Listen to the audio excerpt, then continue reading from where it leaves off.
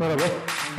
Bu eğitim serisinde e, temel düzeyde, temel orta düzeyde e, endüstriyel robot e, programlamayı KUKA e, robotlar üzerinden e, anlatacağız. Böyle bir eğitim serisi e, hazırlıyorum şu anda.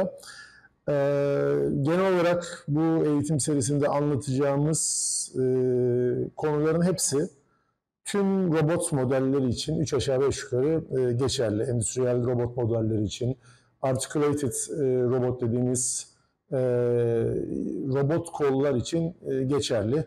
E, tabii e, Avrupa menşeli e, robotlarla Asya menşeli robotların e, programlamaları arasında nüanslar var. Tabii küçük farklılıklar var. Ama temelde anlatacağımız e, konular e, tüm robot çeşitlerini kapsıyor.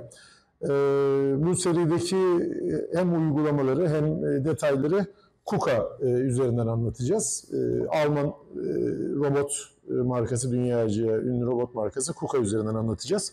E, elimizde KUKA KR3 Agilus e, serisi ailesinden e, bir robotumuz var.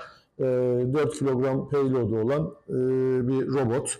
E, robot dediğimiz zaman tabii manipülatör, teach pendant, KUKA'larda smart pad diyorlar. Bir de aşağıda bulunan robotun kontrolcüsünden oluşuyor. KRC4 e, bir kontrolör var burada. E, bunun yeni nesilleri e, KRC5 serisi, e, bulut IoT gibi konuları, yeni nesil e, Endüstri 4.0 tabanlı konuları destekleyen yeni kontrolör. E, KR3'ün bir yenisi de KR4, bir e, üst nesil robot. E, ama kullanımla ilgili, arayüzle ilgili hemen hemen her şey aynı. E, pendantımız e, KUKA'nın SmartPad 2 e, kullanıyoruz burada.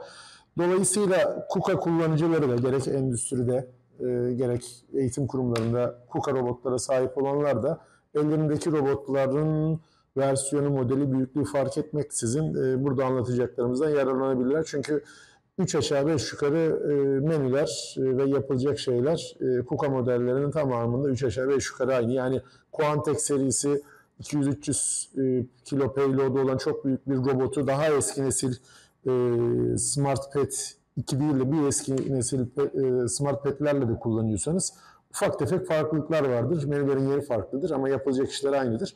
Elinizde başka bir robot varsa dediğim gibi e, onlarda da e, girdiğimiz menüler, yaptığımız şeyler başka yerlerde, başka isimler altındadır ama yine bu yaptığımız prosedürler o robotlar için de geçerlidir.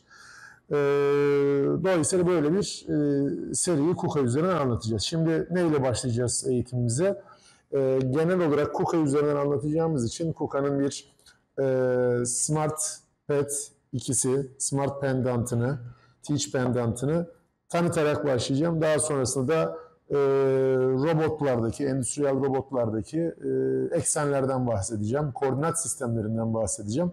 Bir yandan buradan kullanarak, bir yandan da hareket ettirerek birinci videomuzu bu şekilde bitireceğiz. Daha sonraki devam eden serilerde e, programlanmasından, işte e, takım tanıtılmasına, TCP, Tool Center Point bulunmasından, base tanıtılmasına kadar ya da tool'un ağırlığı bilmiyorsa bu ağırlıkla ilgili otomatik e, bunun bulunması ile ilgili prosedürler var.